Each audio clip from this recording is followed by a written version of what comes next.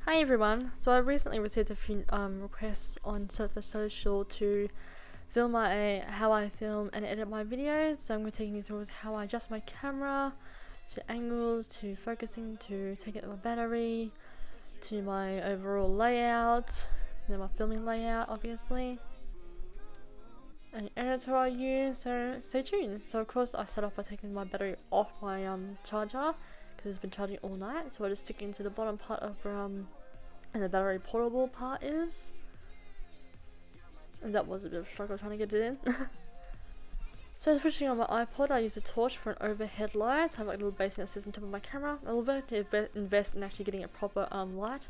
So of course I switch my camera on, I adjust my camera into the right position. Focusing, know it's focusing because it's a green flashing square. And I press record, record, I gotta record but I gotta record. So here's an overview of my filming area. And yes, my makeup desk is a mess because I obviously just did my makeup. And this is my um, desk that I sit behind, uh, in front of and my hairdressing chair. Here's my big ass mirror that I use to behind. It's like my giant articulating screen. I just, as you can see, um, when I'm sitting in my chair, I can just basically see the back of my camera in the mirror. So when I switch my camera to live view, I can see myself in it. And just make sure I'm focused, make sure I'm recording. So this is the makeup that I did um, for this video within the video. So of course I'm going to take you through with um, how I edit. So of course I'll first switch off my camera, and then I take out the battery, and then I take out the SD card.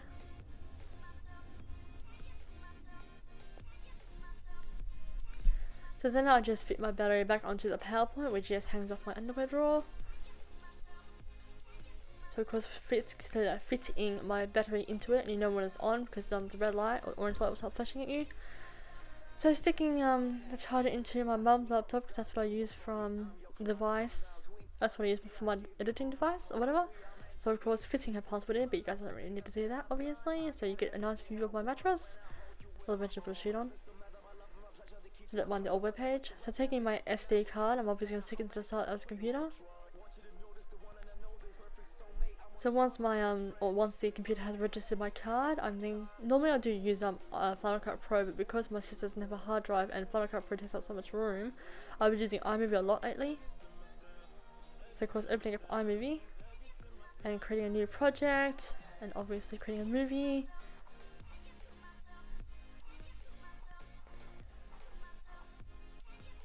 So going up to the top of the list versus my movie, I'm going to then go to the top of the editor where there's a drop arrow. As you can see, um, about the second one down is where my SD card is, um, or the title for it. So all my files have been received, so um, I just click and drag to highlight them all, so I can um, import them all at once. And of course, this little transparent circle will then tell me how much time it's got to import the video, so about 17 minutes to go. So as I'm just chilling on my bed eating an apple, I just stack away while I'm waiting. So once it's finally um, imported, I then start the restart of the first clip obviously. And I usually always say, um, hey guys or hey everyone and welcome back to my channel. That's usually my intro speech, I guess you could say. So I was boosted the volume so I could hear myself.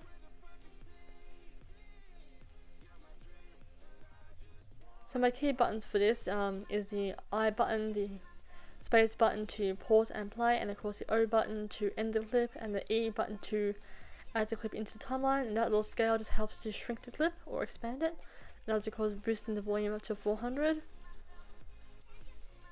So I'm just playing it over and over again just to make sure that it sounds right to me.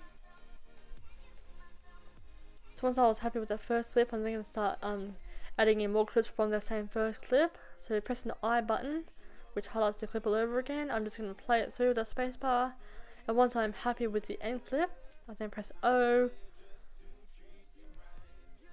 And then I'm going to press E, and E drags it into, or pops it into the timeline. So I'm going to boost the flame again, and do the exact same thing throughout all the videos. Ugh, I mean, all the clips I meant to say. So I was of course replaying two clips over and over again, just to make sure I like how they sound.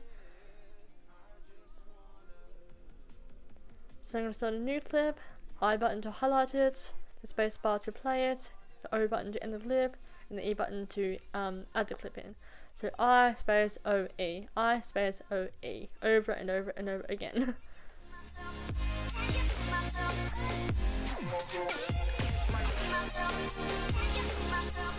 So at this point my sister was talking to me in the video and obviously didn't want that to be included. Um, so I was just endlessly hitting the I button just to make, wait until I got to the point where I talking to the camera again. And then of course I proceeded with um, adding in the clips from there on. So I space O E, I space O E. And then of course kept going along and boosting the clips, or the volume of the clips. So then just, just give them an overview. So once I um, get to a certain point, I'm obviously doing my foundation here. I obviously don't want to um, you know, have too much of my um, foundation in the clip. I wanted to get to the point where I was talking again, so I just wait till I get around to there, and then I just start adding the talking clips in. Obviously, the important talking ones, not where I'm rambling like I am right now. and of course I could just continue on.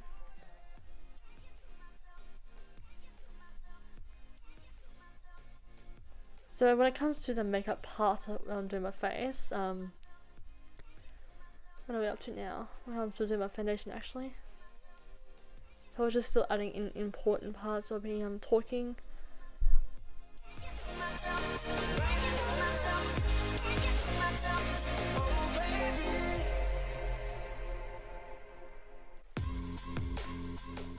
Okay, so normally I do just um, skim over especially if I'm looking for an important piece, like when I know I'm about to do a full blown makeup part. So right about here I am doing my eyebrows and I couldn't seem to find my product so I left all those clips out.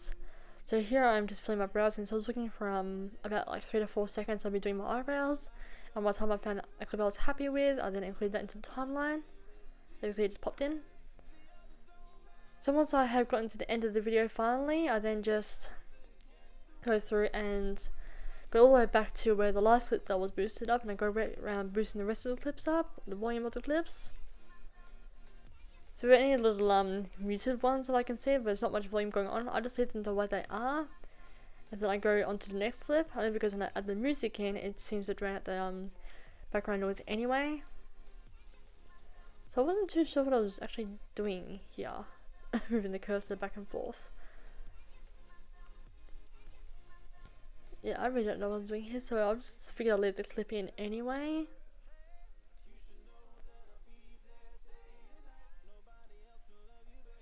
This is a bit of a waste of a clip right now, Shannon.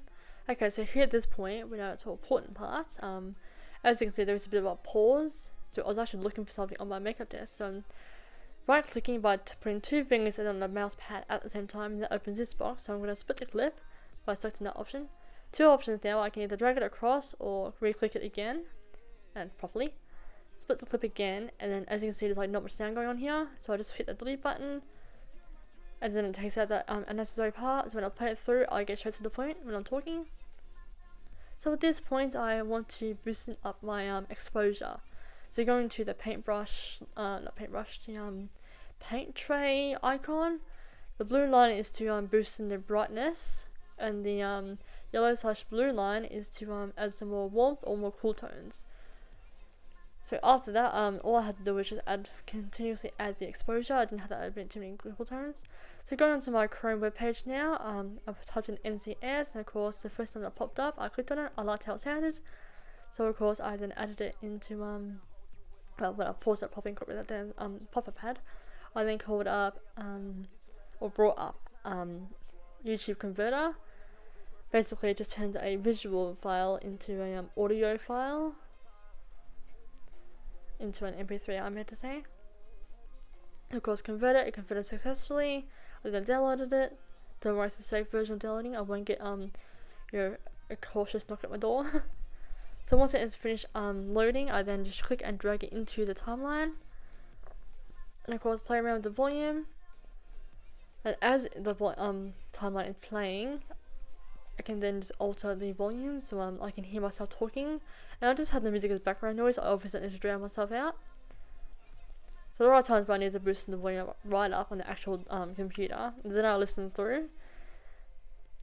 So I want to make sure, especially if I'm talking in the actual video, I want to make sure that I'm heard more than what the music is, but enough so that you can still also hear the music. So here the music got a bit cut off short, so I had to add a new clip of it in.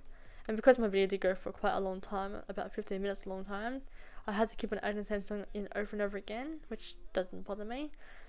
So for these clips I wasn't talking as much, um, so you're able to hear the music a lot better as like a short entertainment background music.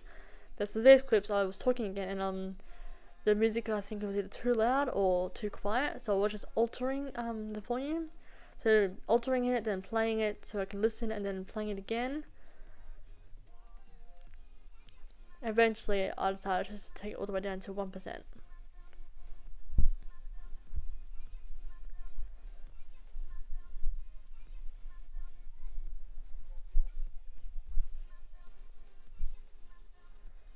So finally happy with that, I am now going to be I'm clicking and dragging into a title so that I can fit my name banner into the screen.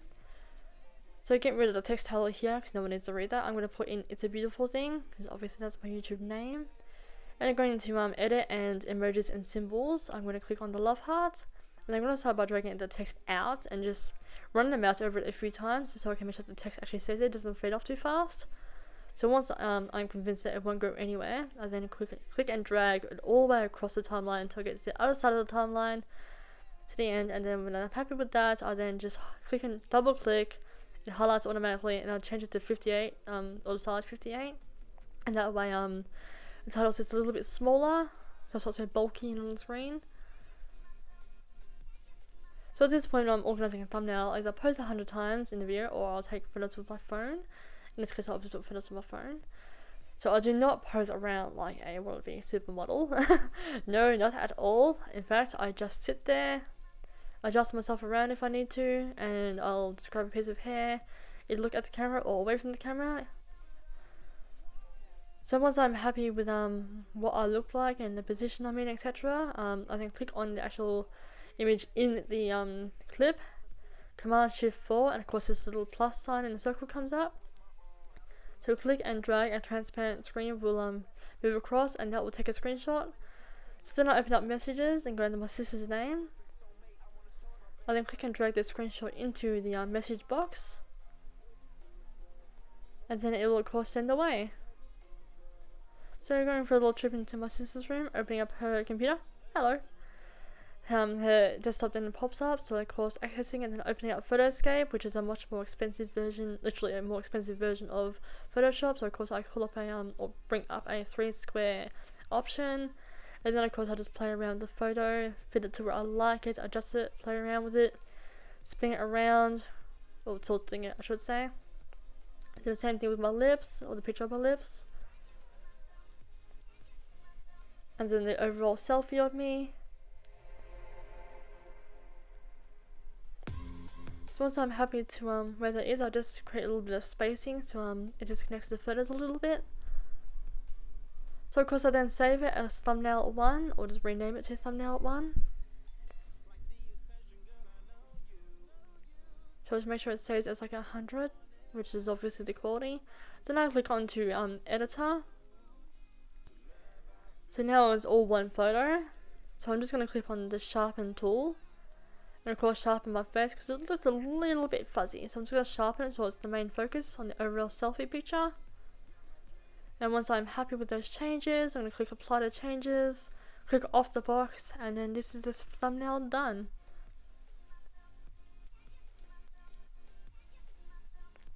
So just saving as and then renaming it to thumbnail 2 so it automatically saves to the desktop after that. So of course I'm opening up messages again and sending it to mum, which is going to go to her number, but her number also transfers to her laptop. Okay, so now it's received on my mum's laptop, so as the picture has successfully come through. So I'm just going to click and drag it onto the desktop. Don't mind this message, it's basically telling me that the picture already exists, so I'll just um, get both anyway. So back onto my editor, I'm then just going to take um, transitions. This is um, a faded black one, so whenever you open up my video on the internet, obviously on YouTube, for like two seconds your screen is black. And then um, by the end of the video, my screen fades to black. I know, it just seems like that way. So then I just go through and listen all over again, but of course, you know, edit whatever leftover bits there are. And when I get stuck with something like this, um, whenever I'm clipping clipping a clip, if that makes any sense. Um, the volume tends to, you know, jump around, so I just drag it back. So of course ejecting my Nikon card uh, since I don't really need it any in the computer anymore. So I'll wait till it's cleared from the desktop and then I'll take it out. And then once I know that I am happy with how my video is looking, how everything that doesn't need to be in there is out and everything that is in there is in. So I'll just look at the time on the actual white box and then look at the time on the editor and if it's the same, then I know that uh, my video won't export to a different type of video. So renaming my video of course to Smoky Teal Peacock Eyes. Now it's not literally going to take this long, I don't know why I said that, but it took about 10 to 15 minutes just to export. So once it has successfully shared, I'm then going to go down to Handy Dandy Handbrake, which is a um, MOV to MP4 converter.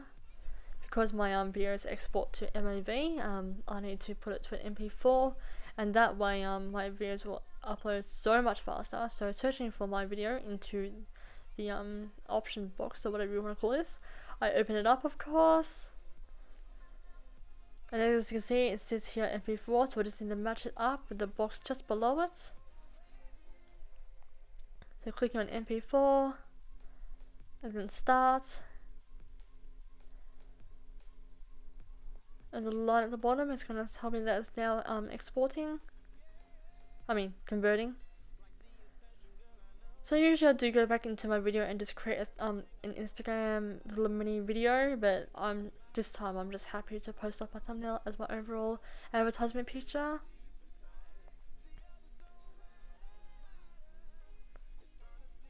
so once my handbrake is done I then just click OK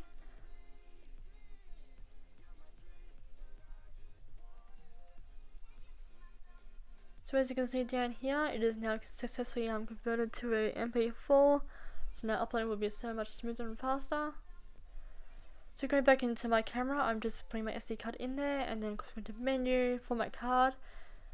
Formatting card just erases all the um, files, so my red camera is then ready to use all over again.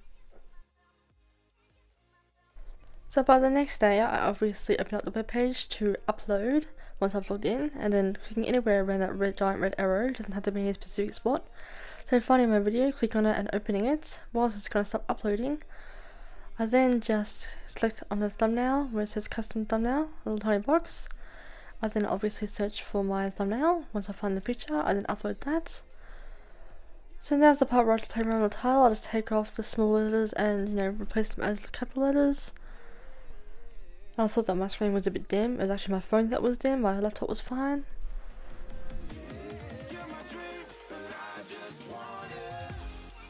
So going up to the top left corner and click on the emojis and symbols, I'll after click on edit, I then selected the love hearts. And then I added some more to the title. And then I decided to add another love heart by edit, emojis and symbols, and the love heart again. And then going to the description box, I then obviously fill in a little biography, I guess you could say. They're basically giving a very small description, even though I already explained the video in the actual intro of the video, but you know, still, it's nice have a little description in the um the description in the description.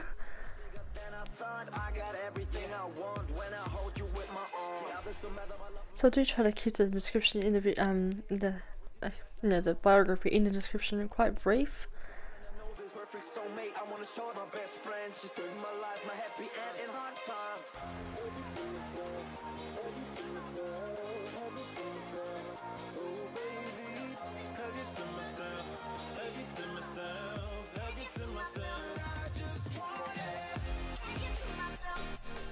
So at this point I'm just about to jot down my um, social media details, which you should of course follow me on. I am on all forms, well not all forms, but just only one Instagram. I am on Instagram, Snapchat and Twitter. So I'm just jotting down, um, you know, my details. So here circling around the um, song heard, I'm going to, um, not necessarily um, link, but more of a list. So I'll go into the um, option next to the uh, ad block there's like a little two, three um arrows or dots um that you click on and you click on to downloads. And then I'll look for the song that I know I specifically last um listened into the actual uh video. then of course I click on highlight. I kept thinking I was getting um highlighting wrong, but you know I had to move the message a little bit further. Than I would have had it. So you're clicking highlighting the um, title of the song, and of course I'm going to copy it. Go back to the YouTube tab, back into the box, go under the text, even though when I paste um, the link in, it still goes next to it. So I just enter it underneath. Then I carry on with the rest of the box. So at that point I just added in the um, editor was what I use and I just add a little cute uh, symbol of a computer just to represent um, you know computer.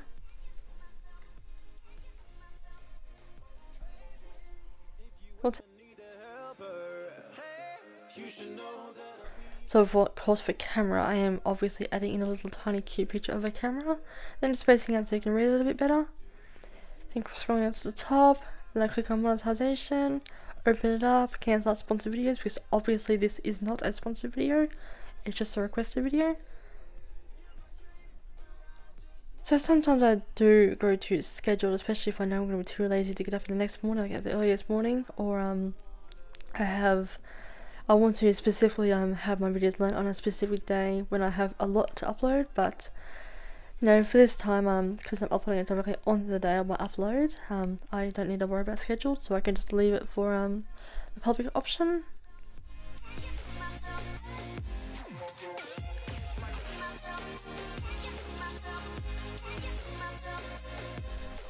So however, whilst I am waiting, I do just browse YouTube. And yet the internet was pretty slow because I was uploading. Eventually the page came through, so I was scanning through my subscriptions just to see who's uploaded what.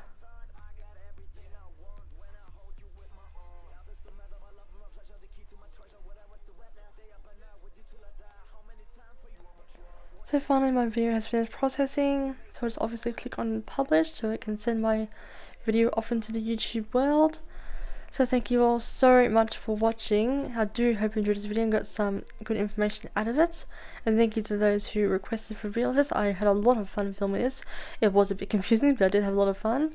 So thank you all so much for watching. And I will see you all for my future videos. And I do hope you enjoyed this video as well by the time you watch this video. Bye guys!